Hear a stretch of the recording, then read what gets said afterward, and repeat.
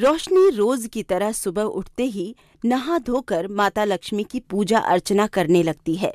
जय लक्ष्मी माता, मैया जय लक्ष्मी माता, ओम जय लक्ष्मी माता, मैया जय लक्ष्मी माता, तुमको निश दिन सेवत, हरे विष्णु विधाता, ओम जय लक्ष्मी माता। सुबह सुबह रोज शुरू हो जाती है। लक्ष्मी माता लक्ष्मी माता, गरीबी तो इस घर से जाती नहीं है। फिर तेरी लक्ष्मी माता करती क्या है? ये तो मत कहो माँ, जितने हालत हमारे बुरे हैं, मुझे तो ऐसा लगता है कि माता रानी ने ही संभाल रखा है, वरना तो अब तक सब कुछ बिखर जाता। ये टूटी फूटी झोपड़ी, ये चार बर्तन, जिसमें कभी कभी ही दाल चावल भरा जाता है, और ये फटे पुराने कपड़े। बच्चों तक को तो कुछ मिलता नहीं है। क्या बात है? मुझे तो लगता है तेरी माता लक्ष्मी हम सब पर कुछ ज़्यादा ही प्रसन्न है। अपनी माता लक्ष्मी से कहे कि हम पर इतना प्रसन्न होने की आवश्यकता नहीं है। रोशनी जानती थी कि उसकी सासू माँ को उसका पूजा पाठ करना बिल्कुल पसंद नहीं है। लेकिन रोशनी रोशनी को तो अपनी माता लक्ष्मी पर पूरा भरोसा था। उसे लगता था कि जो कुछ भी अभी हो रहा है वो सभी भगवान की कृपा से ही हो रहा है। वरना पति के मर जाने के बाद रोशनी के पास कुछ भी नहीं था। बड़ी मुश्किल से उसे एक जगह रोज़गार मिला था। पूरा दिन ईंटों को तोड़ने के बाद उसके हाथ लहूलुहान भी हो जाते थे। लेकिन फिर भी घर आते ही उसकी सास उस पर राशन पानी लेकर चढ़ जाती थी। ऐसे ही आज पूरा दिन जब रोशनी काम करके घर आती है तो अपनी उंगली पर हल्दी लगाने लगती है। ये लो अब इसके ड्रामे शुरू हो गए। इन आँखों पर पर्दा डल जाता है जब काम करती है। पता नहीं चलता कि हथौड़ा कहाँ लग रहा है। माँ, गर्मी बहुत है। ईंटें तप रही थी। बस हाथ से हथौड़ा छूट गया और सीधा उंगली पर जा लगा। अब तेरे बहाने शुरू हो जाएँगे। रोटी नहीं बन सकती। कान खोल कर सुन ले। रोटी ही बनेगी। रोशनी पलटकर कोई जवाब नहीं देती और चुपचाप रसोई में जाकर रोटी बनाने लगती है। उसके हाथ में बहुत दर्द था। तभी उसकी बेटी उसके पास आती है। माँ, तेरे हाथ में तो बहुत दर्द हो रहा है। तेरा चेहरा भी पीला पड़ गया है। लाओ माँ, मैं बनाती हूँ। जैसे तैसे बनेगी, लेकिन बन तो जाएगी ना। अरे नहीं नहीं बेटा, कोई दर्द नहीं है। बस अभी दो मिनट में रोटियाँ बन जाएँगी। उसके दोनों बच्चों को बड़ा दुख हो रहा था। अपनी माँ को इतनी तकलीफ़ में देखकर। लेकिन रोशनी उन्हें ज़ाहिर नहीं होने देना चाहती थी। वो अपनी आँखों में आ रहे आंसुओं को बार बार पोछ रही थी। हे माता रानी, अब मैं क्या करूँ कि तेरी कृपा मेरे परिवार पर खूब बरसे? अगले दिन रोशनी काम पर जाती है, तभी वहाँ पर एक बूढ़ी औरत आती है।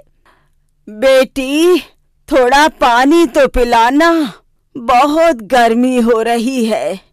तुम बैठो अम्मा, मैं पानी लेकर आती हूँ, ये तो गर्म हो गया है। रोशनी बर्तन लेकर भागकर जाती है और दूर रखे घड़े में से ठंडा पानी लेकर आती है। वो पानी पिलाने के चक्कर में ये भी भूल जाती है कि वो बिना चप्पल पहने ही भाग गई। जब वापस आती है तो उसके पैर जल रहे थे। भगवान, तेरा भला करे। तेरी सारी मनोकामना पूरी होए। अम्मा, तुमसे एक बात पूछूँ? हाँ हाँ। क्यों नहीं? एक की जगह दो बात पूछ बेटी। लगता है तुम भी भगवान को बहुत मानती हो। मेरी सासू माँ तो बिल्कुल भी नहीं मानती हैं। फिर मैं उनसे कोई सवाल भी नहीं कर पाती। मुझे बताओगी कि माता लक्ष्मी की कृपा कैसे होती है? अरे, माता रानी को प्रसन्न करना कोई बड़ी बात नहीं है। बस तू एक काम कर। शुक्रवार के शुक्रवार माता लक्ष्मी की पूजा कर। उनका व्रत रख। थोड़े ही दिनों में तुझ पर माता लक्ष्मी की कृपा बरसने लगेगी। ये सुनकर रोशनी खुश हो जाती है और माता रानी के सारे व्रत रखने की बात कहती है। लेकिन पहले शुक्रवार ही जब उसकी सास को ये पता चलता है कि वो व्रत रख रही है तो घर में हंगामा हो जाता है। अब तू एक और बहाना लेकर बैठ जाना कि मेरा तो व्रत है, मैं काम पर नहीं जाऊँगी। मैं ऐसा कुछ नहीं कह रही माँ। मैं काम पर भी जाऊँगी। लेकिन मुझे व्रत रखने दो। मेरी बड़ी इच्छा है कि मैं माता लक्ष्मी के व्रत रखूँ। एक बात कान खोल कर सुन ले। व्रत के बहाने फल फ्रूट खाने की सोच रही है ना? तो दिमाग से ये बात बिल्कुल निकाल देना। रोशनी को समझ नहीं आ रहा था कि वो अपनी सासू माँ को कैसे समझाए, कि उसका मन कर रहा है व्रत रखने का। वो कोई बहाना नहीं कर रही।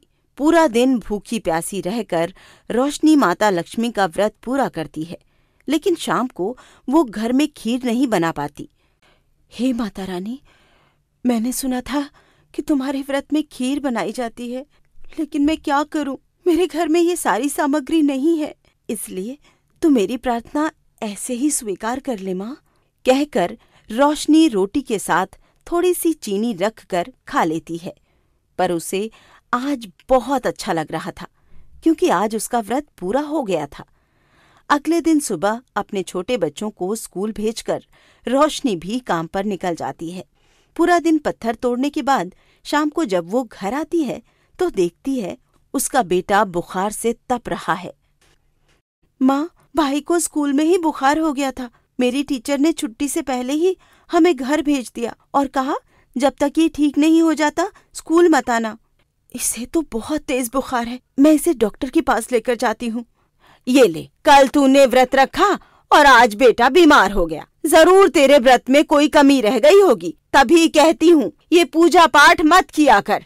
माँ, तुम हमेशा गलत ही क्यों सोचती हो?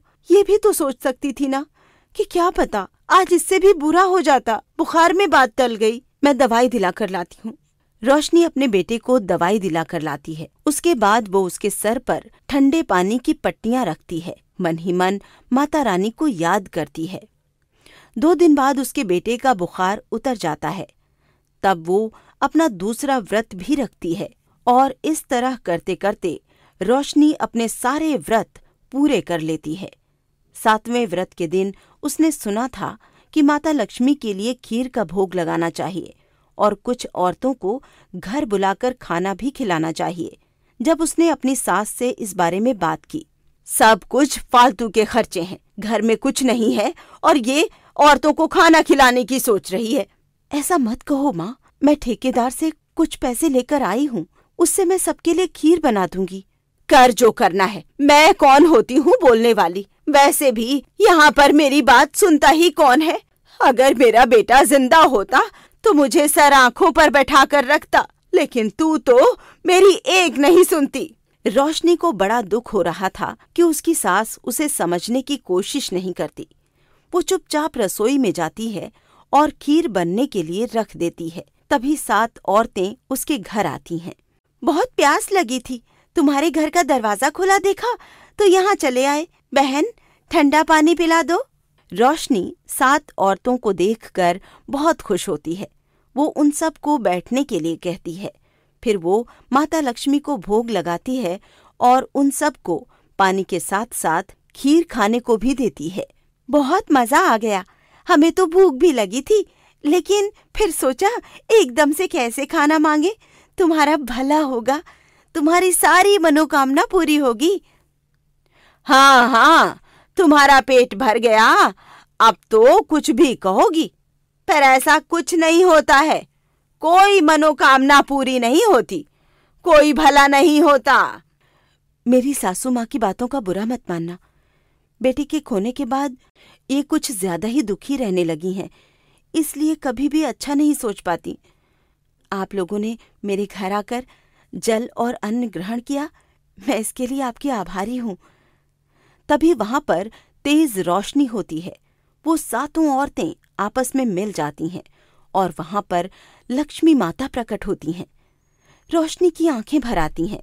उसकी सासू माँ आश्चर्यचकित होकर ये सब देख रही थी।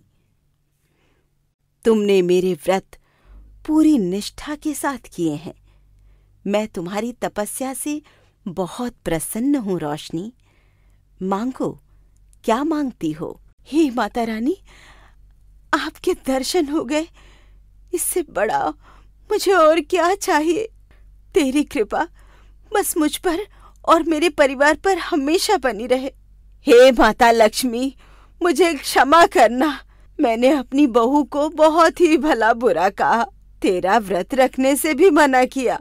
मुझे लगता था कि भगवान कुछ नहीं करते। हे माता रानी, मैं जानती हूँ। मेरी बहू तुमसे कुछ नहीं मांगेगी। लेकिन मैं दुखियारी, तुझसे प्रार्थना करना चाहती हूँ। हे माता रानी, हम गरीबों पर कृपा करो। मेरे पोता पोती अच्छा जीवन बिताए।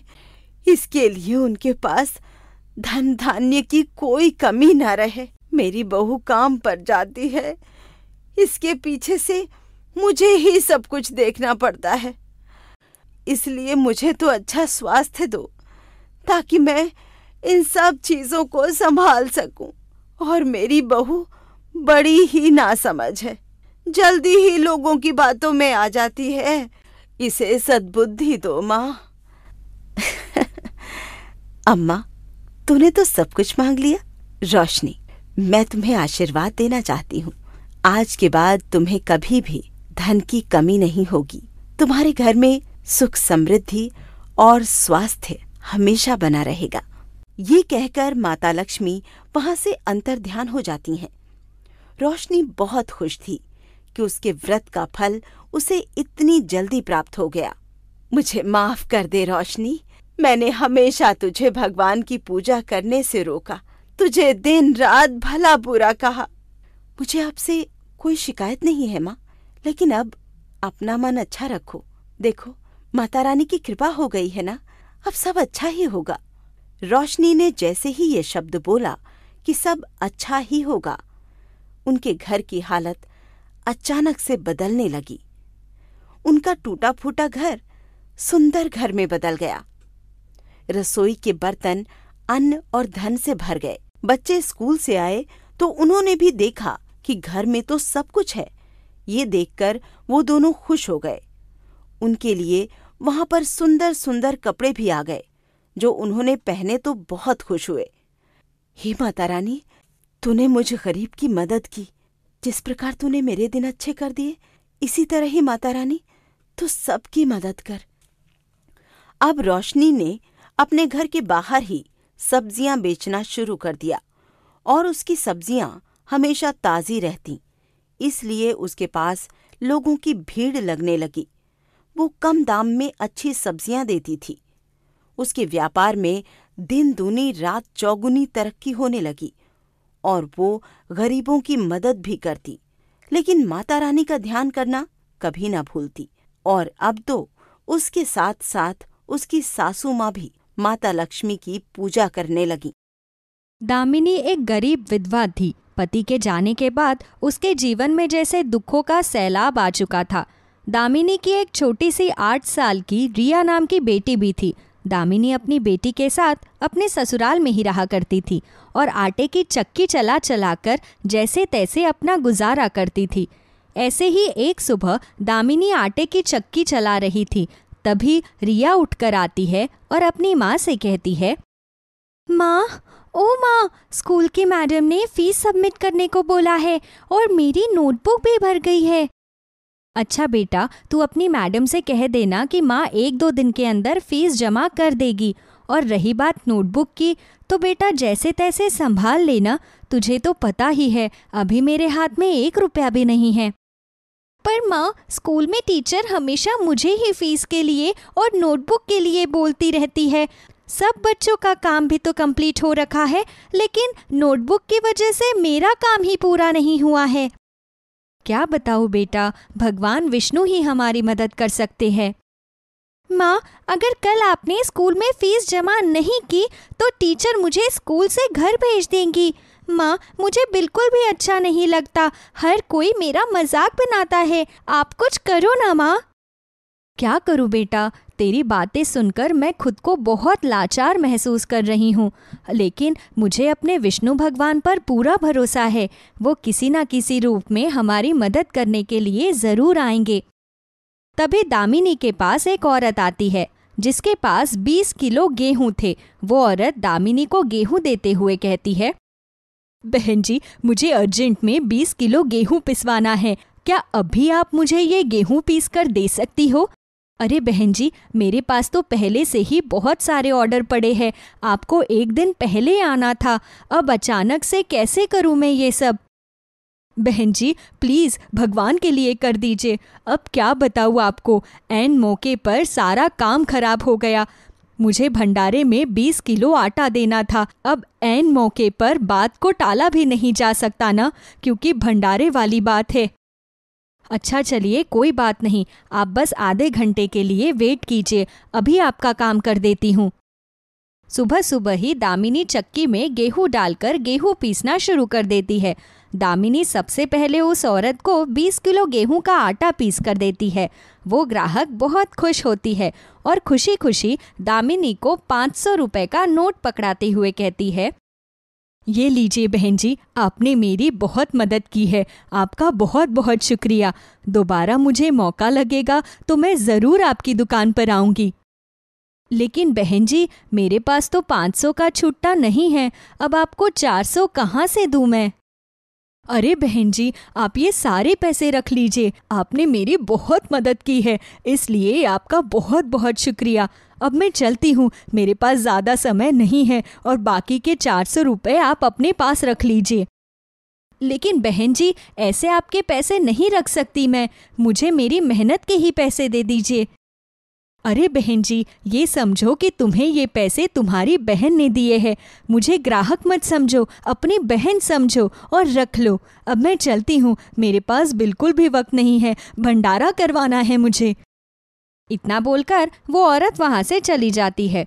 तभी दामिनी अपनी बेटी से कहती है बेटा, तेरी नोटबुक का जुगाड़ हो चुका है। चिंता मत कर, आज मैं तुझे नोटबुक दिलवा कर ही रहूँगी। और हाँ रही बात फ़ीस की तो फ़ीस का भी कुछ ना कुछ सोचती हूँ मैं। तभी दामिनी की सास विमला उन दोनों माँ बेटी की बातें सुन लेती है और गुस्से में कहती है हाँ हाँ ये चक्की तेरे बाप ने लगवाई है ना, जो इस चक्की के पैसे अपने बेटी को पढ़ाने लिखाने में बर्बाद करने में लगी हुई है। अरे मेरी बात मान तो इसे भी काम पर लगा दे, पढ़ने लिखने से कुछ नहीं होगा। अरे माँ, कम से कम बच्चों के सामने तो ये सब मत बोलिए। आपको तो पता ही है, रिया अभी बहुत छोटी है और आपकी बातों का इसके ऊपर बहुत बुरा असर पड़ेगा। भगवान के लिए अभी कुछ मत बोलिए।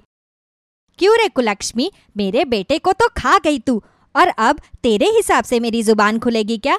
मेरा जब मन करेगा तब मैं बोलूँगी। अरे जब से इस घर में आई है, तब से मेरे घर में मनहूसियत ही छा गई है। एक तो मेरे जवान बेटे को खा गई, ऊपर से हमें बर्बाद करने पर तुली हुई है ये। माँ जी, भगवान के लिए शांत हो जाइए। मैंने भी तो अपना सुहाग खोया है ना? मैं भी तो विधवा हुई हूँ। उनके जाने से मेरा जीवन तहस नहस हो गया है। जितना दुख आपको है, उससे कई ज़्यादा दुख मुझे है माँ जी। मेरी बेटी के सर से बाप का साया हट चुका है। मेरे सर से सुहाग का साया हट चुका है। लेकिन तब भी इस गम को अपने मन में रखकर सबको खुश करने की कोशिश करती रहती हूँ मैं। अब ज़्यादा अच्छा बनने की कोशिश मत कर। तुम दोनों माँ बेटी की शक्लें देखकर मुझे बहुत गुस्सा आता है। दिल तो करता है कि दोनों को जान से मार दूँ, लेकिन मजबूरी है मेरी भी।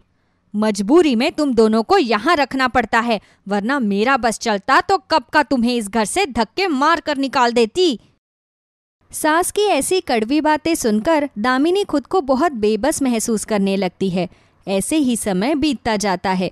दामिनी विष्णु भगवान की बहुत बड़ी भक्त थी। वो अपना हर काम करने से पहले विष्णु भगवान को ज़रूर याद करती थी।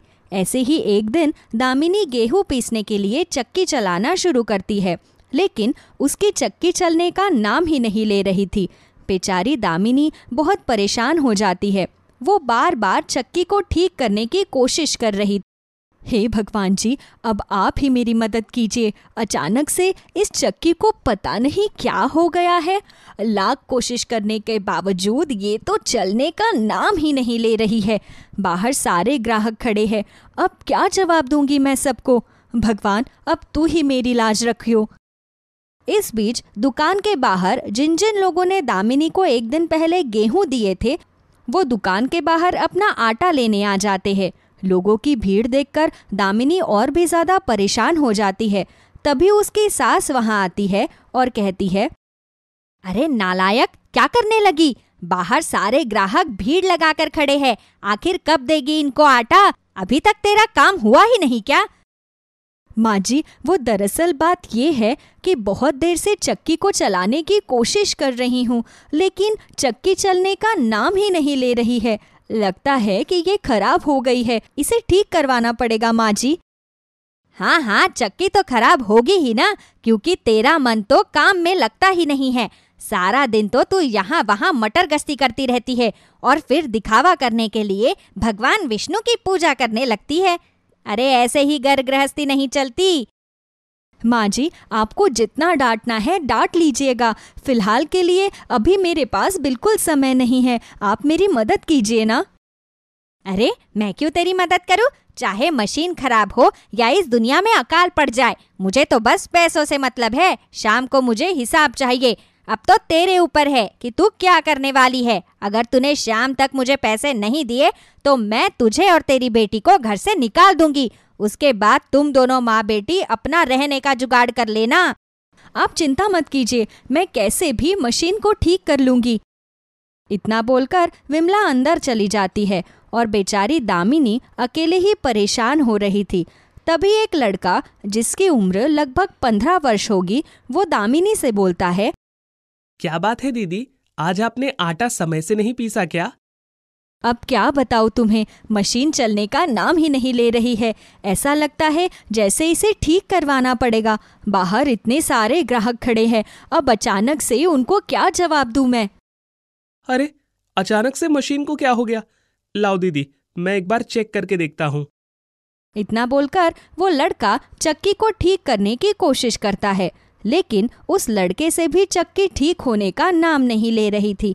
तभी वो लड़का दामिनी से कहता है दीदी आप एक काम करो जल्दी से जाइए और मकैनिक को यहाँ ले आइए। तब तक मैं सारे ग्राहकों को देख लेता हूँ। और हाँ आप चिंता मत करिएगा कुछ नहीं होगा। आपके पास बिल्कुल वक्त नहीं है। जल्दी से जाइए और मकैनिक को लेकर आइए। ठीक है मैं अभी जाती हूँ। तब तक तुम सब संभाल लेना। इतना बोलकर वो लड़का दामिनी को मैकेनिक लाने के लिए भेज देता है। तो वहीं दूसरी तरफ़ दामिनी के जाते ही वो लड़का विष्णु भगवान का अवतार ले लेता है और चक्की से सभी ग्राहकों के गेहूँ को पीसना शुरू कर देता है। थोड़ी ही देर में जब दामिनी वहाँ आती है तो वो विष्णु भगवान को चक्की चलाता हुआ देखकर हैरान हो जाती है। उसकी आँखें फटी की फटी रह जाती है। हे विष्णु भगवान जी, साक्षात आपके दर्शन हो गए मुझे। आपके दर्शन करके मेरा तो जीवन ही धन्य हो गया है। अगर अब मुझे मौत भी मिल जाए तो मुझे कोई गम नहीं होगा। मुझे आप पर पूरा भरोसा था कि आप किसी ना किसी रूप में मेरी मदद करने के लिए ज़रूर आएँगे। तुम मेरी बहुत बड़ी भक्त हो, इसीलिए मैं हमेशा तुम्हारे साथ हूँ। तुम्हें परेशान होने की कोई ज़रूरत नहीं है। तुम्हारे हर अच्छे बुरे वक्त में मैं हमेशा तुम्हारे साथ हूँ। लो। तुम्हारी मशीन अब पूरी तरह से ठीक हो चुकी है। अब ये मशीन दोबारा कभी खराब नहीं होगी। मैं जानती हूँ प्रभु कि आप हमेशा मेरे साथ हैं लेकिन मेरी स्थिति बहुत ही ज़्यादा खराब है। मैं अपनी बेटी को अच्छी शिक्षा देना चाहती हूँ। मैं चाहती हूँ कि मेरी बेटी पढ़ लिख कर एक कामयाब इंसान बने। अरे दामिनी तुम चिंता क्यों करती हो? तुम्हारी बेटी बहुत होनहार है। देखना एक दिन तुम्हारी बेटी पढ़ लिख कर बहुत कामयाब हो जाएगी। तुम्हारा नाम रोशन करेगी। और हाँ, अब अगर तुम्हें किसी भी चीज़ की आवश्यकता होगी, तब तुम इस चक्की के पास आकर तीन बार मेरा नाम पुकारना। तुम्हें जो चाहिए होगा, वो तुम्हें मिल जाएगा। इतना बोलकर विष्णु भगवान वहाँ से चले जाते हैं, जिसके बाद दामिनी अपने सभी ग्राहकों को उनका आटा दे देती है और ऐसे ही समय बीतता गया। अब जब भी दामिनी को उसकी ज़रूरत के हिसाब से पैसों की ज़रूरत होती तो वो तुरंत चक्की के पास आकर विष्णु भगवान का नाम लेना शुरू कर देती है, जिससे उसकी इच्छा पूरी हो जाती। और इस तरह से दामिनी अपने जीवन में खुशी खुशी आगे बढ़ती है।